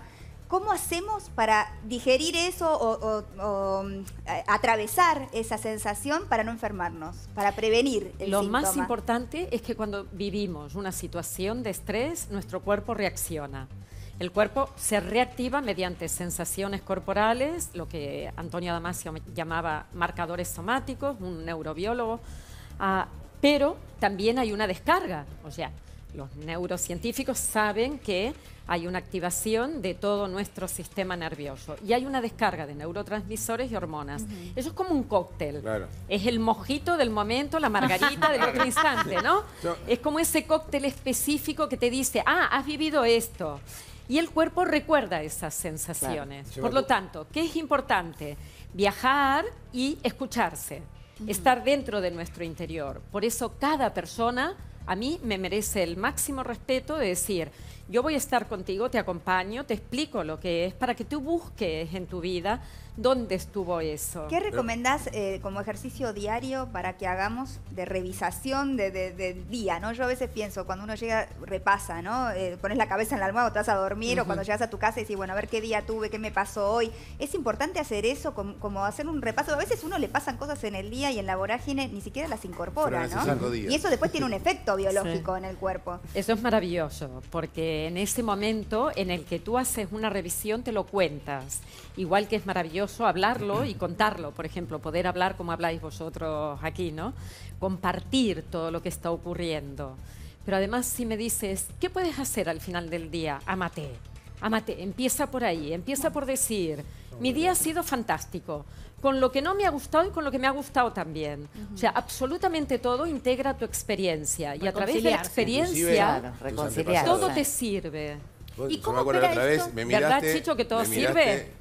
¿Cómo ¿Cuánto diagnóstico le hicimos? No, ah? no, me- no, me sacó la, la Paciente historia de eterno. vida. ¿Y se puede con, con los chicos hacer esto? Por ejemplo, cuando uno ve a su hijo o a, o a- o a su hija, yo por ejemplo pienso siempre, ay, ¿por qué se enfermó? ¿Qué le habrá pasado? ¿Qué le anda pasando? ¿no? Como ir un poquito Claro. más atrás. ¿Cómo se hace para ayudarlos a ellos? Que no pueden capaz encontrar el origen ¿no? de las emociones. Pero tú puedes hablar como padre, como madre, intentando que ese niño te diga o te cuente lo que le está pasando. Muchas veces cuando sufren a nivel emocional, si los padres les hemos cortado, porque no se llora, cállate, no te puedes enfadar, no respondas así, aquí mando yo, ¿no? Todas esas frases yo creo que las hemos dicho. Ya no voy a decir, mis padres lo dijeron, no, no. Nos Yo atraviesan a todos. Con 56 la dije muchas veces, con lo cual tengo que volver para atrás y decir, vale, en algún momento me habré equivocado con mis hijos también, ¿no? Pero los que sois jóvenes y tenéis niños pequeños y los que tenemos hijos que ya son mayores, podemos seguir enseñándoles que solo con amor podemos aprender a vivir en un mundo mejor, porque esto se está transformando, yo creo, en un poco descalabrado todo. Bueno, pero ¿no? ahí como, hacemos ángeles, que creo lo hablábamos hace un ratito también, Sí. el tema de, como te preguntaba Mariana, en una sociedad, ya no hablo de la Argentina, la occidental, que te Mm. empuja a la velocidad, a correr, al éxito, al triunfo, y donde obviamente la realidad de todos los países de Occidente dan cuenta de que esas posibilidades son cada vez mínimas, de que el disfrute con lo que uno hace tiene que ser pleno, más allá del lugar que ocupe. Digo, ¿cómo empezar a sintonizarse para poder estar en paz todo el día y no escuchar ese barullo que viene de afuera todo el tiempo? Luis, te agradezco la pregunta, porque yo creo que venimos al mundo sin nada de todo esto que traemos en este momento. Nos llenamos de, de historias que suponen obligaciones, compromisos, llenar el ego. el ego. ¿Desde dónde? si desde vivir. afuera. Solo desde afuera. Tengo 20 coches y no me sirven. Tengo 40 propiedades y no me sirven. Y el día que me marche de aquí, ¿me las pondrán en el, en el cajón? Yo creo que no, ¿no? Entonces, ¿por qué no empezamos a pensar cómo queremos vivir? En lugar de decir, la sociedad me obliga, digo, ah, yo me obligo, soy yo, porque la descodificación no pone juicio. Pero cuando es tu esencia, yo la, la otra vez empezamos así, con la esencia, que yo soy, tengo altas capacidades para acumular estrés. Y, mi- y me decía, positivo. no seas Altas como capacidades. yo, no seas como yo. Y terminamos la historia de mi abuelo, ¿te acordás? Sí. O sea, No, eh, tú me preguntaste pero- por Messi y acabamos en tu abuelo. el estrés de Messi, claro. No, el abuelo de, de memoria. tu hijo. claro. Vos historia dijiste de recién de- que la descodificación no juzga. No, Eh, no juzga. ¿Cómo sería eso? A ver, tú puedes ver determinadas conductas, como estabais hablando ahora mismo de todo lo que ha ocurrido ¿no? En- con esta señora. Y, en lugar de poner juicio, la descodificación dice, vayamos a mirar los conflictos. Este es el síntoma. Hay alguien que, no sé, por algún motivo ha drogado, se ha drogado, no sabemos, no, no podemos decirlo. Mejor yo creo que es tomar otras historias, como alguien roba, ¿no? Alguien roba, que eso puede ser habitual, y para mí robar es robar en una empresa haciendo fotocopias cuando no te toca, o robándole tiempo a una, a una persona, o robar millones y millones robándoselas a la gente que ha depositado el voto en ti, ¿no? Para mí el robo es el robo, pero no lo juzgo. Lo que vamos a decir es, ¿qué conflictos hay detrás del robo? Vale. Por un lado, está lo que se denomina la pérdida de territorio. ¿Quiénes van a robar? Los que son territoriales y que quieren propiedades. Sea, ya te digo, una fotocopia, eh, una cereza en algún lugar o millones. Y por otro lado, un gran conflicto que atañe a todas las sociedades y a todos los seres humanos, que es la identidad. El qué lugar ocupo yo aquí. ¿Qué lugar tienes tú en la sociedad? Hoy tienes un espacio, estás abierta a comentar, estás abierta a hablar de todos los temas y otras personas no pueden hacer eso, ¿no? ¿Y eso qué explicaría? Eso que explica que hay la dos toma de conciencia de tu lugar en el mundo, digamos. ¿Qué, qué que cuando tú sobre mí? sientes que está ame- amenazada tu identidad, tu lugar en el mundo, y sientes que no tienes el reconocimiento de los otros, quizás te apropies de cosas. Ah, claro. ¿Por qué? Porque a través de lo que tengo, imagínate que a ti- aquí tengo un Se Ferrari. Bueno, a mí no me importan los coches, ¿eh? pero bueno, imagínate que aquí tengo Sí, un sí. Ferrari. Yo me siento que soy alguien gracias a ese Ferrari. conocemos un montón no que de- tengo mi lugar Sí, sí, sí. como yo, ser humano, ángeles que ha venido aquí a experimentar, a encontrarse con personas maravillosas Estaba pensando en en la enorme corrupción que siempre hemos Sí. tenido en este país a lo largo de décadas, ¿no? ¿Cómo se explicaría eso en descodificación? En, en- La como nosotros viene- como sí. sociedad y como país. Vienen, hay tres, hay más conflictos, diría. Está eh, la falta de lugar, de posición en el mundo, es yo creo que la principal. O sea, no nos sentimos con una identidad clara, nos sentimos mezclados, cuando en realidad la mezcla, la gran mezcla que tenemos los argentinos es absolutamente maravillosa. Cualquier genetista te dirá, cuanto más mezclado estén los genes, mejores rendimientos vamos a obtener. Por lo tanto, ya tenemos que saber que somos lo mejor que hay por todos lados, pero no creer que somos que estamos por encima de los Superiores, demás. claro. Exactamente. Ahí viene nuestro error, que nos creemos por encima de otros y eso viene o deviene de, de si un que conflicto de desvalorización. a la Argentina como país, Sí. ¿no? Co- ¿Qué, qué dirías? ¿Cuál es nuestro problema? ¿Por qué siempre estamos en crisis y cada tanto eh, tenemos un ciclo tremendo, ¿no? Y parece que sale el sol y de vuelta la tormenta. Yo creo que las tormentas llegan cuando no tenemos confianza, cuando no tenemos confianza en el propio país. ¿Qué es una inflación? Yo llevo 40, 50, 60 años escuchando lo mismo. sea, en el país se trata de bajar la inflación en lugar de subir la educación pero además de subir la confianza. ¿De dónde deviene la Es que inflación? tampoco no tienen confianza afuera, ese es el problema. Tenemos Claro, no confianza en el eso, exterior. digamos, nosotros nos evaluamos pero no como tenemos sociedad, confianza aquí. ¿Qué votamos también, no? Claro. O sea, que, que, eh, No como tenemos sociedad tenemos que, que hacer nosotros, ¿no? Una autocrítica y pensar también qué votamos, desde qué lugar votamos. ¿Qué votan los Pero es que no tenemos confianza porque no hay, no generan los gobiernos, no este, no, no, no hablo de este, por favor, ni del anterior ni del anterior. Yo me general. estoy refiriendo Sí, sí, a no, estamos hablando hace de más global, de sí. 100 años, más de 100 años que estamos en crisis. ¿Cómo es posible que tropecemos siempre con la misma piedra? ¿Cómo es posible que estemos viviendo atrapados en el tiempo, en el Día de la Marmota, ¿no? la película esta que se levanta cada día eh, a la misma hora en el mismo lugar? Te voy a poner pausa, eh, Ángeles, porque Sí, resulta muy perdón, ¿eh? interesante y quiero que sigamos este, hablando y tengo que hacer un aviso. Así que enseguida continuamos con Ángeles. Cuando quiero hacer un café, busco una tacita. Cuando quiero hacer un plazo fijo, busco una retaza, la taza del Banco Provincia. Banco Provincia te ofrece un plazo fijo digital con la mejor tasa del mercado. Obtenelo ahora desde VIP o cajeros de la red Link en forma simple y segura con toda la trayectoria del banco más grande de la provincia. Aprovecha la retasa de los plazos fijos de Banco Provincia. Muchas gracias, Banco Provincia. Bueno, enseguida continuamos con la licenciada Ángeles Walder hablando de la descodificación biológica. Ella es licenciada en fisioterapia y en antropología. Y es muy interesante esto, realmente es algo nuevo, pero que nuevo para nosotros, Claro. ¿no? Claro. Porque exi- existe hace bastante, ¿no? Sí. ¿Cuánto, ¿Cómo? cuánto- cuánto tiempo tiene la descodificación? Más de 40 años. Claro, pero para nosotros es algo nuevo, ¿no? Eh, y vale la pena, ¿eh? Para sentirnos mejor, para estar, disfrutar más de la vida y para que cambie también nuestro contexto. Gran Campeón se renueva para darle lo mejor a tu mascota. Ahora Gran Campeón Tradicional y Gran Campeón Carne vienen con nueva fórmula con 21% de proteínas. Y Gran Campeón Gatos con omega 3 y 6 que ayudan a un correcto funcionamiento renal. Ahora también Gran Campeón Cachorros. Gran Campeón la fórmula ideal para una completa nutrición. Muchas gracias, Gran Campeón. Muy bien. Bueno, estamos todos con preguntas para hacerle a Ángeles. Ahora en el corte la vamos a agarrar. Entre 29, Yo este ya conté, 29, 30 y 31 de octubre llegó Cyber Monday. Ofertas bomba y descuentos en más de 500 tiendas y 10 categorías. Entra en cybermonday.com.ar. Mira. Llegó Cyber Monday y todos tenemos permitidos. Yo un smartphone. Yo una camisa floreada. Yo una tele, 55 pulgadas. Tengo la posta. Brasil. Llegó Cyber Monday. Tres días para comprarte online todos tus permitidos. Muchas gracias. Bueno, enseguida continuamos. ¿eh? Eh, vamos a hacer cola, nos podemos sacar turnos para.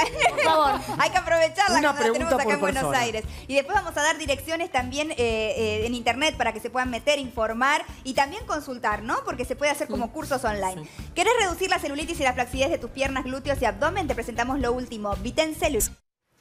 Muchas gracias, Walmart. Le preguntaba a Ángeles dónde puede meterse la gente para investigar sobre esto. Sé que tenés un sitio, ¿no? En internet Sí. donde pueden eh, leer inclusive cosas que has publicado. ¿Cuál es la dirección? Es www.institutoangeleswalder.com. Walder se escribe W-O-L-D-E-R, ¿eh? no es Walder, Sí. es Walder, así directo. Sí, sí, muy interesante. Llegó Sancor Seguros Beneficia, el programa en el que además de tener la mejor protección con las coberturas de la aseguradora líder, sumas puntos que podrás canjear por múltiples beneficios. Todo lo que asegurás tiene premio. Compras, viajes, descuentos y experiencias únicas. Ingresa a www.sancorseguros.com.ar y empieza a disfrutar. Con Sancor Seguros te pasan cosas buenas todos los días. Así es, muchísimas gracias, Sancor Seguros. Hay algo que me gustaría que, que nos dejes así como consejo, Ángeles, algún tip, algo que podemos aplicar todos los días, que sea algo fácil, eh, posible, ¿no? Y que nos ayude a estar mejor. Lo más fácil es deja de asignar al exterior lo que pasa en tu interior. O sea, que cada vez que te ocurra algo, eches la mirada hacia, Hacia aquí para ver qué es lo que te ha dolido, qué es lo que te ha molestado. Eso en lo personal. En lo social, yo creo que lo que podemos hacer todos es compartir espacios de reflexión, espacios donde construi- construimos algo, no nos quejamos porque sí. Ya sé que hay problemas, totalmente de acuerdo. Es real, hay problemas de hambre, hay problemas de educación, hay problemas de todo tipo. Pero busquemos entre todos una salida a eso.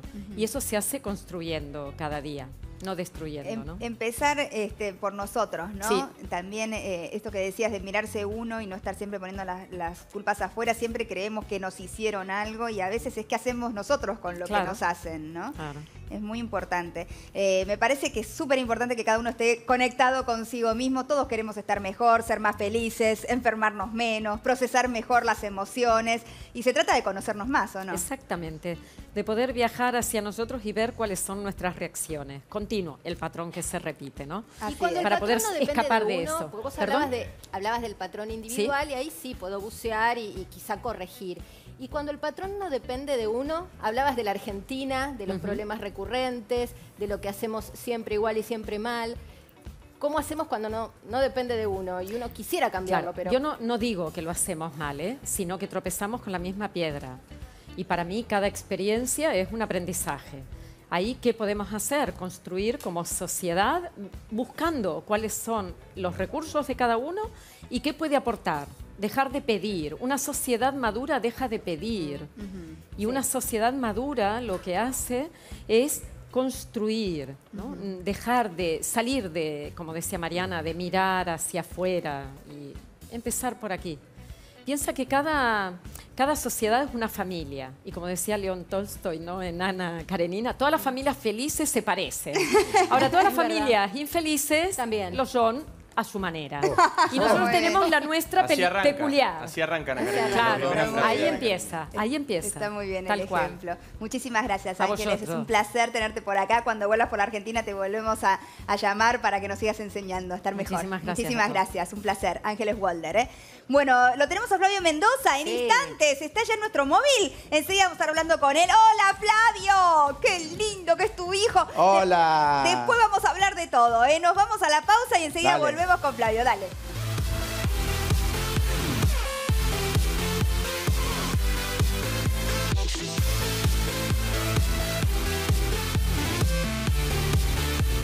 Imperdible esta noche. Mi hermano es un clon. Prendete el 13. Ah, especialistas del show. Prendete al 13. Aquí estamos de regreso. Enseguida hablamos con Flavio Mendoza, que ayer dejó el bailando. Ah, ¿no? ¿de qué manera? De muchísima emoción. A lo grande de 10. se fue, a lo Dos grande. 10 recibió ayer en- 10, en- a lo con la coreo que con un ritmo libre, con un ritmo circense que tiene que ver con su historia de vida, con su familia. ¿Será que su hijo también va a seguir la tradición? Y bueno, ayer debutó. Ayer debutó. En la pista de Showmatch, nada más y nada menos. Y ahora, Ahora vuelve al circo, Flavio, nos va a contar. Ahora nos va a contar. ¿Vas a pintar? Elegí cambiar, divertirte, crear, elegí diferente, elegí ser suave. Ser suave, mira.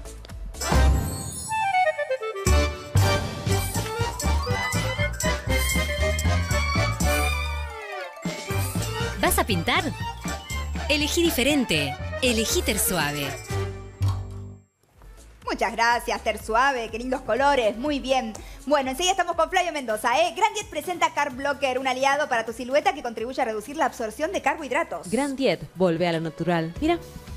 Grandiet presenta Carb Blocker, que te ayuda a reducir la absorción de carbohidratos de forma totalmente natural. Gracias a la combinación del poroto blanco y el magnesio, bajar esos kilitos de más ahora es más fácil. Carb Blocker, la silueta que siempre soñaste. Grandiet, volvé a lo natural. Muchas gracias, Grandiet, muy bien. Bueno, ¿y por qué dijo ayer Flavio que se iba? Bueno, tiene la verdad que el- el hijo le está llevando muchísimo tiempo, está preparando sus nuevos espectáculos y él no iba a estar este año en el bailando. Claro. Lo convenció último momento Marcelo, iba a dejar en el ritmo anterior, finalmente, bueno, lo convencieron de hacer este mega show que hizo ayer, Tres hasta acá llegó. lo, lo pautado al principio. Tres Ahora le vamos a preguntar a él. ¿Te gustaría ganar entradas para experiencias increíbles? Provincia Net Pagos presenta Salidas que Garpan, tu oportunidad para ganar entradas a shows y eventos súper divertidos. Seguí en redes sociales a Provincia Net Pagos, entérate de todas las novedades y participa. Aprovechar las salidas que te regala Provincia Net Pagos, Garpa. Provincia Net Pagos, una empresa del Grupo Provincia. Muchas gracias. Bueno, me voy con Flavio, que está junto a Renzo. Adelante, Renzo. Hola Mariana, estamos con Flavio Mendoza. ¿Cómo están? Hola, Me presenta como que ya estaba en el circo. Hola Mariana, hacía rato que no te no hablaba con vos. Qué alegría, Flavio, saludarte. Primero felicitarte por tu hijo, que es un solcito, no se puede creer lo hermoso ¿Viste que lo es. que Se es? te ve enamorado, obviamente, cómo no lo vas a estar. Mal. Contame cómo, cómo es esto de ser papá, cómo, cómo te encuentras, ¿es verdad que te estás yendo del bailando justamente porque querés dedicarle más tiempo a él? Sí, en realidad este, era un año que yo no iba a hacer televisión ni nada, ni siquiera me había subido al teatro. Y este, Marcelo me, me dice para hacer un par de galas y terminaron siendo seis galas. Este, yo ni pensaba estar en el bailando y la verdad que nada, la pasé hermoso. Es, me da una pena terrible irme porque creo que nunca la pasé tan bien eh, en la televisión como esta vez. Y la verdad que me da mucha pena irme, pero de verdad me pasaba que ya con el programa de Marcelo Poleino, los especialistas, más el bailando, más el teatro, yo no, no podía hacer nada y durante el día estaba, iba y venía a casa y lo veía muy poco a Dio. Entonces Claro. me empezó a pasar factura emocional, ¿viste? De no poder hacer lo que realmente había... Este, esperé seis años para ser papá. Eh, me costó mucho, entonces como que digo, no me quiero perder esos momentos maravillosos que tiene vos, que sos mamá, Nos y las personas que son mamá y en el piso les, va a la pasar. Sí, entonces, y también, por ejemplo, viste, también el homenaje de ayer era un poco al circo, porque con mi familia traemos un circo de Italia, se está construyendo en Italia un, un mega eh, circo que se llama Anima, el circo se va a llamar Anima, y, este, y también tenía que viajar a Italia porque yo lo debutaba en, en el verano, pero por el bailando lo tuve que postergar para debutarlo en marzo. Claro. Entonces es como toda una cosa que viste que se me vino encima y que mucha gente depende de mí. Entonces como que yo decía, bueno, eh, paren un poco porque no puedo repartirme en tantos lugares y Muy encima sabio. hoy lo, primordial decisión. es mi hijo. ¿Cómo fue, ¿Cómo fue compartir ayer en, en la pista? Digo, me, me decís que hacías un homenaje al circo y además cerraste con tu hijo ayer ahí en la pista, que, que fue muy Sí. lindo, muy emocionante. La verdad que sí, mira, yo soy quinta generación de artista de circo y yo conmigo es como que se moría la- la- la- la- las generaciones. Entonces es como que al traer de vuelta el circo a, a mi vida, mi hijo va a poder vivir esos momentos tan especiales que yo viví en el circo. Desde otro lugar capaz, ¿no? Pero no tan sacrificado como fue mi vida en el circo. Pero sí va a poder ver lo que es... eh, Fue, fue una gran escuela para mí el circo. Entonces, nada, y poder este, también yo creo que, que- que estuvo bueno para que lo conozca Marcelo. Eh, Marcelo a mí siempre me dio un lugar increíble en este espectáculo y, y nada, me daba como que decía, bueno, tenía que, ya que me voy, cerrar con él. Aparte, fue difícil porque él se duerme a esa hora, siempre ya está durmiendo, le hago como la rutina, ¿viste? Lo baño, lo duermo. Flavio, es de que- oro, estaba chocho Sí, ahí, con estaba todas feliz las con- luces, Sí. con todo. Y tenés que está acostumbrado. peinado, me mata. me Ahora, mata. Flavio, eh, fue el clic un poquito cuando vos contaste, te escuché en una nota contar que eh, eh, un día, no sé si el nene estaba con vos en brazos y le tiró los brazos a la niñera o algo parecido Ay, y que sí. te dio como un celo Ah. y pensaste, bueno, esto quiere decir que necesita más tiempo conmigo. Digo, ese fue un poco el clic Claro. para tomar la decisión. Sí, sí, digamos que sí, y aparte, bueno, de eso también desató que yo tenía que viajar a Córdoba por el teatro, porque vamos con Sidarta a Carlos Paz este verano, entonces tenía que ir a Córdoba para ver cosas técnicas del teatro, y como iba dos días, me dice mi hermana, déjalo conmigo, mejor dije, no, no, no, me lo llevo. Así que me lo llevé, y la verdad que logré también en este fin de semana esa, esa, esa comunión de vuelta con él, que ya la había perdido un poco por todo esto de no, de no estar con él tanto, porque sí estoy durante la noche porque nunca tengo niñera, pero durante el día esa cosa de, de hacerlo jugar y la verdad que la pasé tan bien con él, la pasamos tan bien juntos que dije, no, es importante que yo esté con él, es mi, es nada, es algo que creo que es mi gran sueño y, y- y quiero aparte estar nadie en- te a todo devuelve este- momento. Este, momento, ¿no? No. Tan, tan especial, cada etapa tiene algo hermoso Claro. para, para poder compartir. Y contame, ¿qué, ¿qué es lo que más te gusta hacer con él? Por ejemplo, ¿sos, sos de jugar? Le, le- ¿Te gusta bañarlo, darle de comer? ¿Cuáles son las actividades que decís, estas las hago yo seguro? Mira, me gusta todo, pero en realidad me encanta cuando lo pongo así a dormir conmigo un rato, me mata Ah, eso. Colecho, colecho. ¿Entendés? No, me, me mata, pero no trato de no hacerlo tanto para que no se acostumbre. Pero por momentos cuando digo, ah, bueno, ya está, ahora vení con papá, ¿entendés? Y lo saco del Moisés y lo pongo conmigo, me mata de amor, sentir el olorcito, el, el ruido del chupete cuando, viste, cuando, no, no, me mata. El otro día Es- subiste es- un video con el perrito, el ternura. bebé, todos en la cama estaban, lo- los, tres juntos.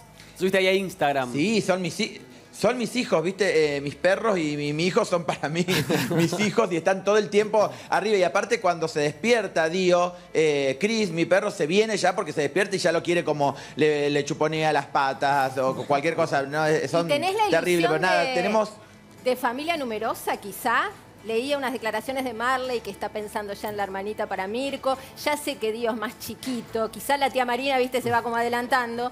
Pero ¿tenés esa ilusión o, o quizá ya tenés la paternidad Sí, vos sabés que- en él? No, nosotros, eh, nosotros somos cuatro, mis tres hermanas y yo, y yo siempre decía que me hubiera gustado que sean cuatro también. Pero nada, me doy cuenta que no es fácil ser papá. Este, no es fácil. Este, ¿Sabes qué? A mi, a mi bebé cada vez que. A mi bebé cada vez que le, que le ponemos vacuna le levanta fiebre. Viste que hay nenes que no y hay nenes que sí. Claro. Entonces estoy toda la noche con él así, sentado en la cama, medio sentado en la cama, medio dormitando y poniéndole pañitos de agua fría en la frente. Entonces, Aparte las valijas, nada, eh, es un... Vos de es una viaje- respo- Sí, no sabes cuándo viajo. Por No, no eso, sabés vos cuándo 20 viajo, es valijas, terrible, chico, 10. terrible. ¿Qué es lo más ridículo Sí, que sí, sí, hiciste, porque- Flavio? Te llevaste, por ejemplo, yo me llevé una vez eh, todas las leches. Me llevé una valija llena de leches porque me daba miedo cambiarle No, la yo marca también. de leche cuando viajaba y me llevé, imagínate la cara de mi marido. No, yo también. ¿Vos también? Yo también. Y cada vez que viajamos. Yo también me llevo las leches, los pañales, me llevo todo, soy como un container. Y aparte, cuando viajamos en avión, porque no sé qué le pasa a mi nene, que cuando hay un día, eh, una vez al día, que se hace caca, que se hace hasta acá. Sí, pasa eso. No sé por qué, no sé por qué se le pasa, te juro. Entonces, cada vez que voy a un avión y son más de, de dos, tres horas, le pongo tres, cuatro pañales, de, de lo, de lo fóbico que soy. Qué porque me da miedo, ¿entendés? Entonces le pongo pañales, Te le pongo como cosas para que. No, porque aparte. Te felicito, Flavio. La verdad que se te ve feliz, se nota, se irradia. Este, ayer fue una imagen hermosa y me emocionó a todo el mundo, por eso te queríamos saludar. Ya nos estamos despidiendo, se me acaba el programa, pero te quiero mandar un abrazo súper fuerte. Muchísimas gracias por este ratito. Gracias, gracias. Y ahora nos vemos los especialistas, así que. Ahí está, ahora estamos, continúan ahí los estamos. especialistas. Gracias. Muy bien. Besos. Beso enorme. Chau, chau. Gracias. Gracias, Renzo. Gracias, María Cher. Estoy vestida de Cher. Miren este vestido Divino. bicolor. Qué. ¿eh? Muy Un lado es un color y del otro es de otro. Está buenísimo, me encanta. Es de María Cher. Los zapatos son Valdés, de las plumitas estas Muy divinas. lindos, Mariana. Me Me encanta. gustan a Carmela. Y tengo lo- los corales, mirá, de Mechigaray, Me como aros, Hermosos. espectaculares. Sí, me me encantó. Subo todo al Instagram. Muchas gracias por estar ahí. Mañana nos vemos de nuevo, si Dios quiere. Chau, chau. Vamos, Boca,